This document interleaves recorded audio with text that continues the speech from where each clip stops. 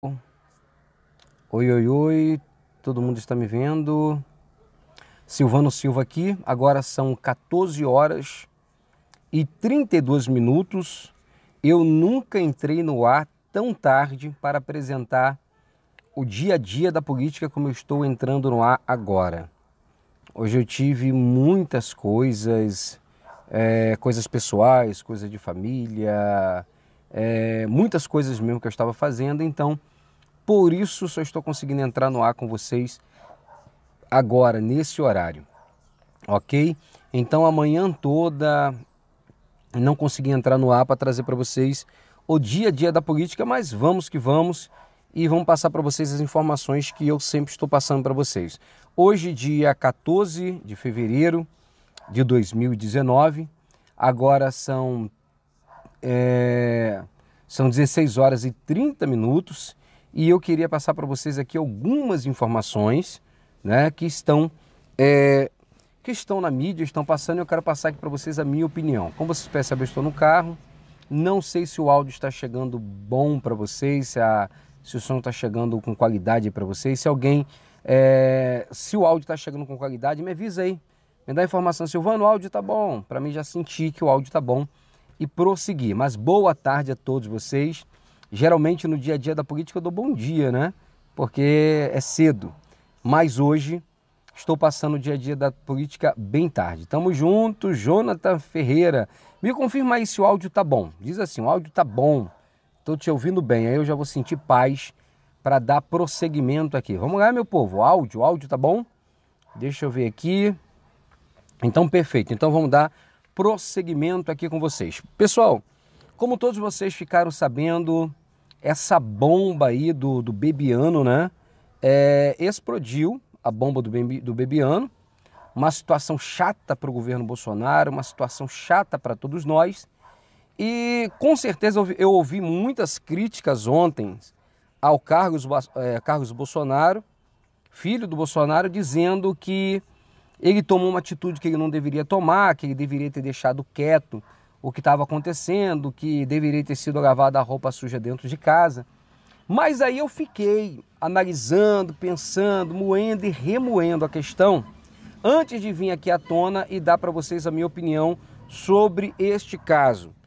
E dizer para vocês o que, que eu acho sobre isso daí. Então, o Carlos Bolsonaro nessa questão estava certo ou estava errado? Então, vou passar para vocês. A minha opinião é que o Carlos Bolsonaro foi correto nessa atitude que ele teve em denunciar a mentira do Gustavo Bebiano, ministro, ou melhor, ministro, né, que é tido como ministro da Secretaria-Geral do Governo.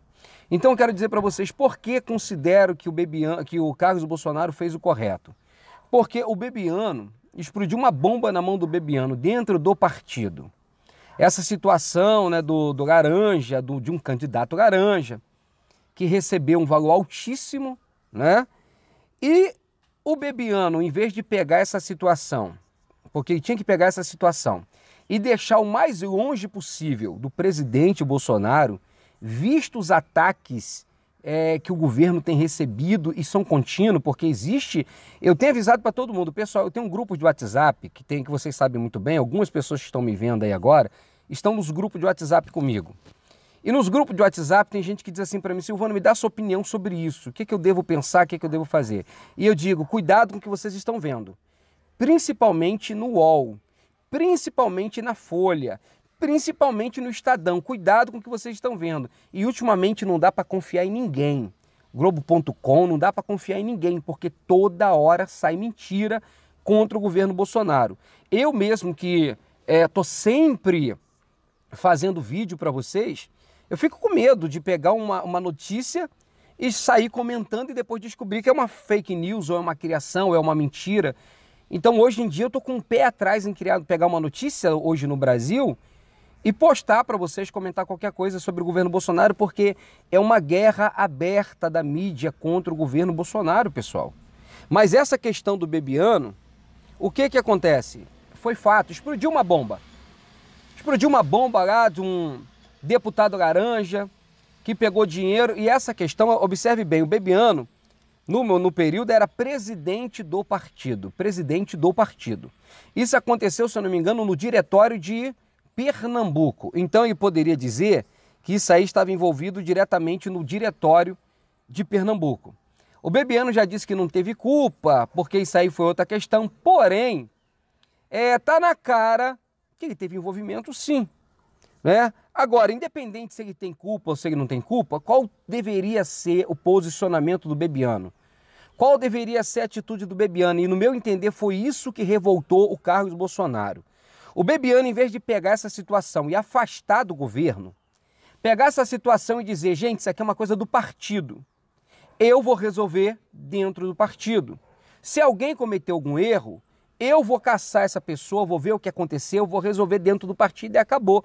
Não, o que, que o Bebiano fez? Ele tentou se esconder atrás do Bolsonaro. Entendeu a questão? O Bebiano tentou pegar uma coisa que aconteceu dentro do partido e tentou levar para dentro do governo. Em vez de ele pegar isso e tirar do governo e resolver dentro do PSL, resolver dentro do partido. Ele pega e leva para dentro do governo. E para piorar a situação, diante da mídia, né, conversando com o pessoal da mídia, ele chega e diz: Olha, eu hoje mesmo, eu, não, não, estou rachado com o Bolsonaro, não. Nós estamos tão bem, tão bem eu com o Bolsonaro, que hoje mesmo nós conversamos três vezes. Quando ele disse conversamos três vezes, ele quis passar a entender que mesmo algo errado acontecendo dentro do partido, Bolsonaro estava apoiando. Ele quis dizer que o governo estava do seu lado, para tipo tentar dizer que a federal não ia atrás dele, que ia acontecer nada ruim. Então, essa situação, de em vez de ele afastar a situação do governo e trazer para dentro do governo, isso aí revoltou o Carlos Bolsonaro. Aí o Carlos Bolsonaro pegou e disse: não, calma aí. Ele não conversou com meu pai, porque meu pai não conversou com ninguém, meu pai de manhã disse que não conversou com ninguém.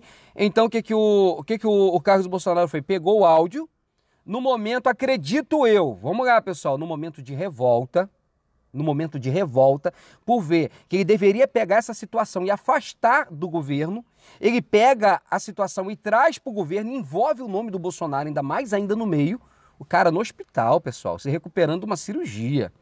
Calma aí, o Bebiano não pensou, Bebiano não, é, não teve a calma, ele, ele, ele, ele agiu de forma errada ele agiu de forma errada.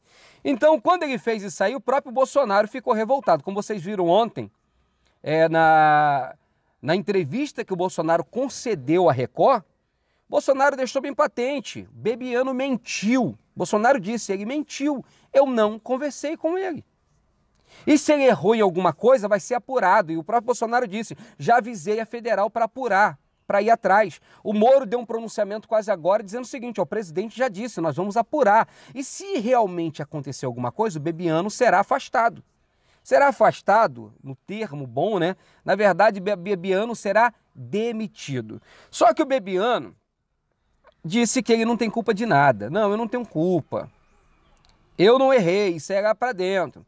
Então eu não vou me demitir porque eu estou correto. Então o Bebiano acha que se ele se demitir, vai ser uma confissão de culpa.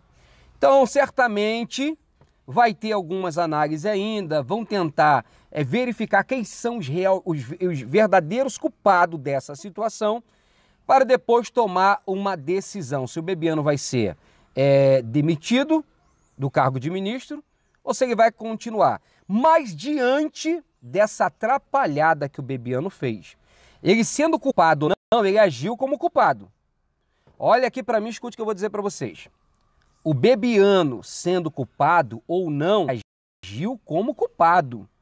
E agora à tarde ele acabou de soltar uma ele acabou de soltar uma nota para a imprensa dizendo que ele está dizendo que ele está é, como que ele disse, ele está decepcionado com o Bolsonaro. Ele está decepcionado com o Bolsonaro. Como que ele está decepcionado? O cara bota o Bolsonaro no fogo envolve o governo numa confusão que não deveria ter envolvido. O Bolsonaro, para tentar livrar o nome do governo, o nome do, do Bolsonaro, o nome do, de tudo que ele está tentando fazer, porque ele precisa estar com o nome limpo para conseguir apoio no Congresso e para votar. E ele tem o um nome limpo. O cara tenta sujar o nome do Bolsonaro, dizer que o Bolsonaro estava encobrindo, estava apoiando. É, ou seja, e ele vai ficar ainda decepcionado com o Bolsonaro? O Bolsonaro que tem que estar decepcionado com o Bebiano. Por ele ter uma atitude dessa que demonstra que ele não tem tanta maturidade política, tanto preparo político para aguentar uma bordoada dessa. Então, meu, meu povo, eu deixo isso aí para vocês o meu comentário.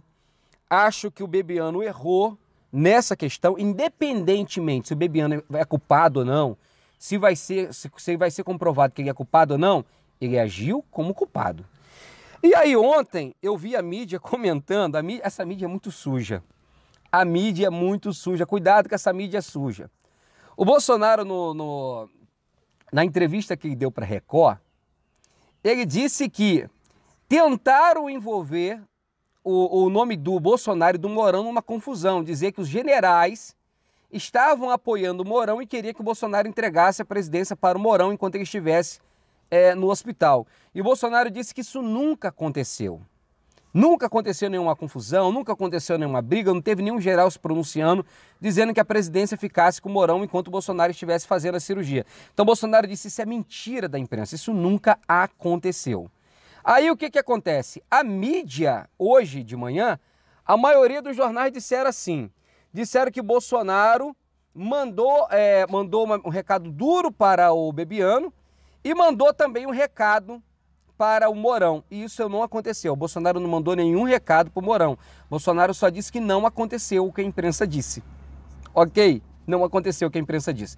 Então deixa aí meu parecer para vocês sobre o Bebiano, deixa aí meu parecer para vocês sobre essa situação do Mourão. Agora quero comentar com vocês sobre o STF. O STF já iniciou de novamente o julgamento.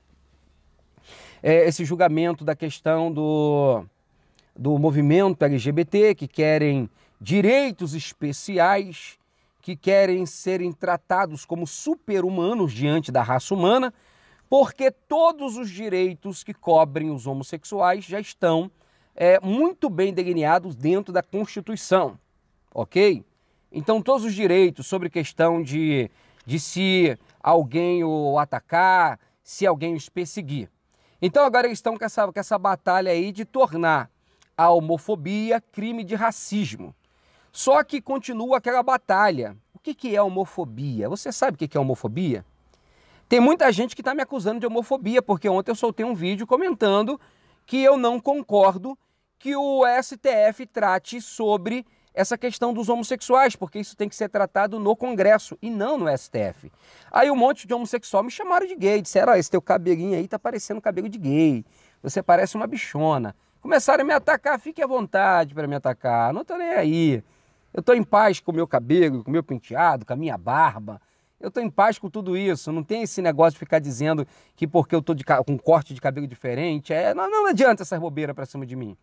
Mas aí ficaram dizendo, cara, você deve ser gay para atacar os gays, deixa os gays em paz. Primeiro que eu não ataquei os gays.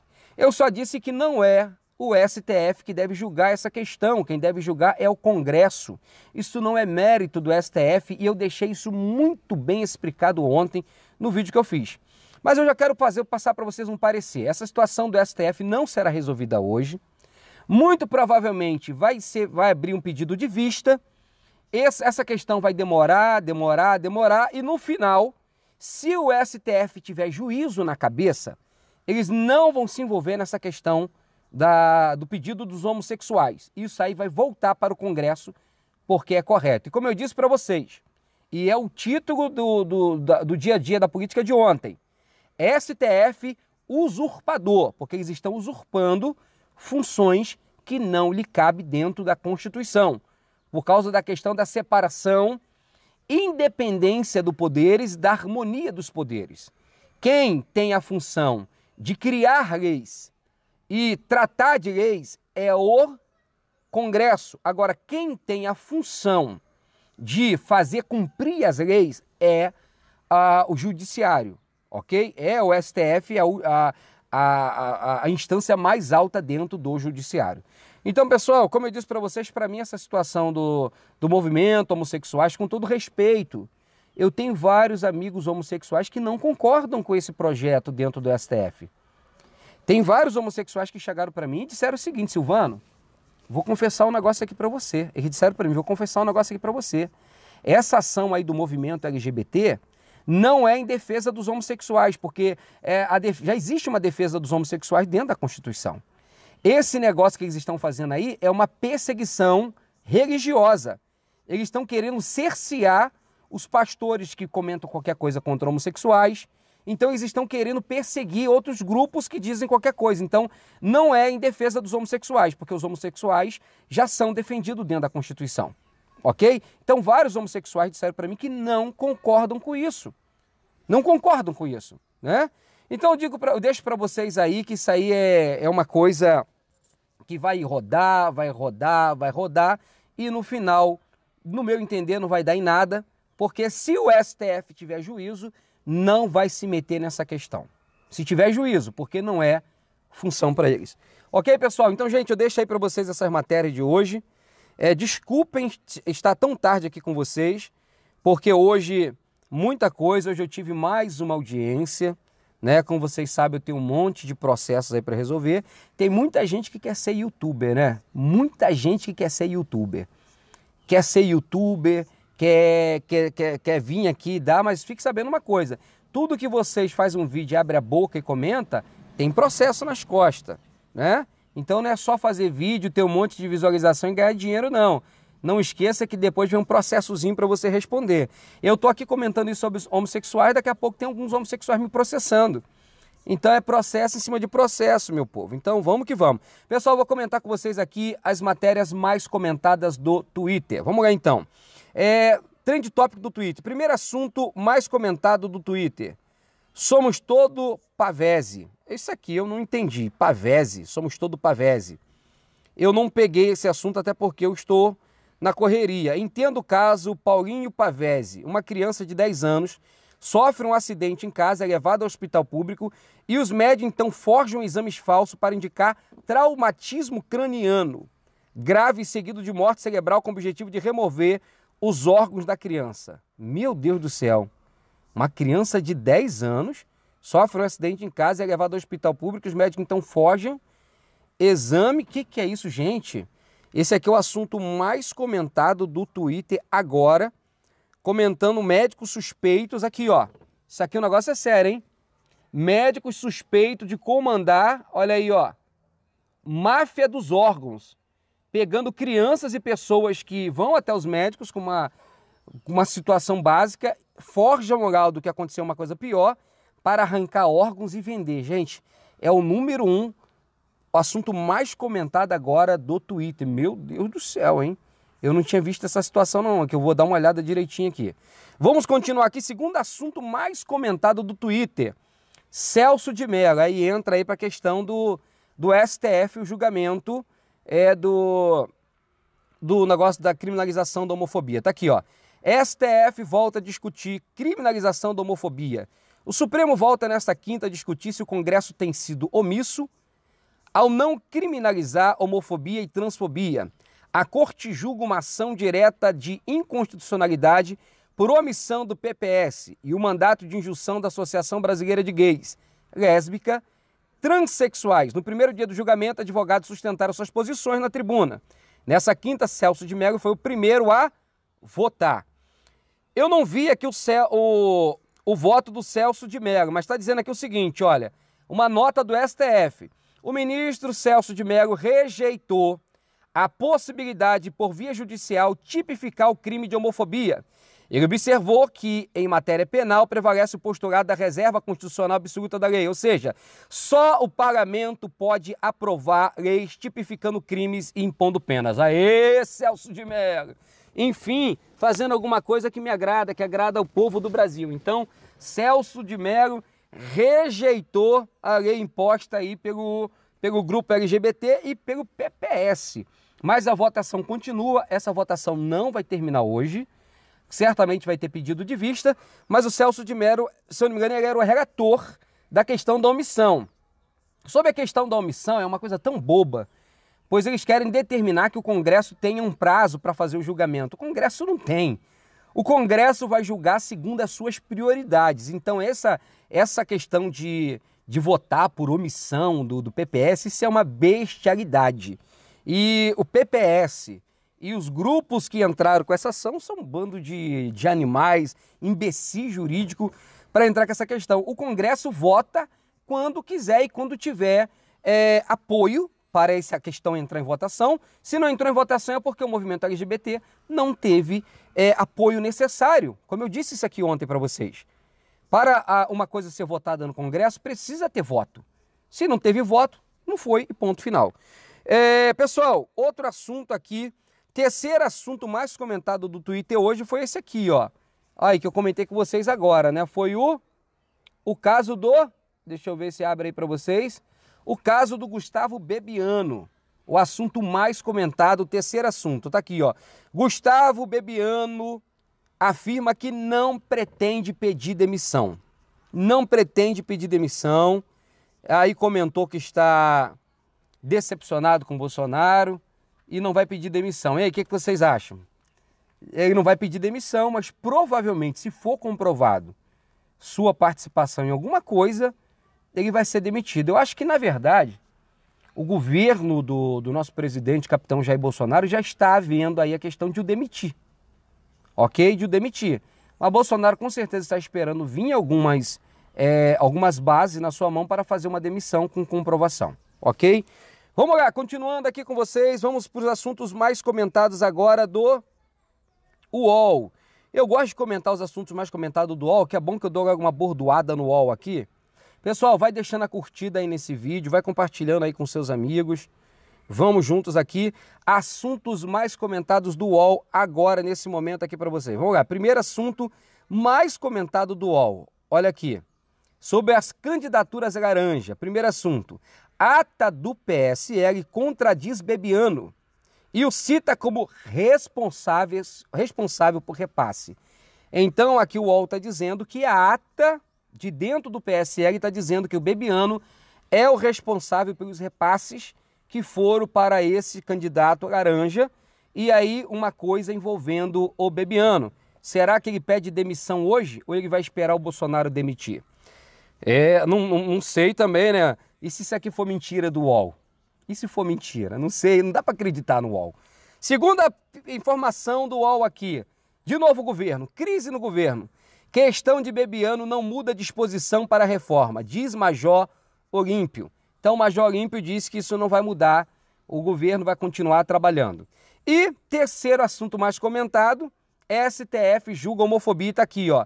Celso de Mello provoca Damares e diz que biologia não determina gênero. Então, o Celso de Mello, eu não vi o discurso, tá, pessoal?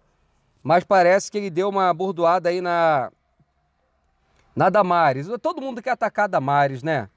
Todo mundo quer atacar Damares, mas graças a Deus, Damares está muito forte, está com muito apoio. E quanto mais atacam a Damares, mais ela cresce. Vamos continuando aqui. Agora, vamos agora para o Globo.com. Assuntos mais comentados do Globo.com. Primeiro, de capa aqui, ó. Maia o Maia, né, líder do, da Câmara, sobre Bebiano. Líderes de partido podem passar por isso. Estão dizendo que é uma coisa normal e corriqueira que acontece na vida de presidentes de partido. É o que o Maia disse, né? É, vamos ver o que, que vai dar aí. Segundo assunto de capa aqui do, do, do Grupo.com. Ministro visita a Amazônia após receber críticas. Então, certamente, é o ministro do Meio Ambiente, né? E terceiro, corpo de Bibi Ferreira é levado para cremação, artista que morreu. Pessoal, é... deixo aí para vocês essas questões. Quero avisar o pessoal aí que está me perguntando sobre Venezuela. Silvano, Venezuela, Venezuela. À noite, às 22 horas ou 22 horas e 30, fique antenado que eu estarei passando para vocês as principais informações sobre a Venezuela. Então podem contar comigo que eu vou reunir todas as informações do dia e vou fazer um apanhado geral sobre Venezuela hoje.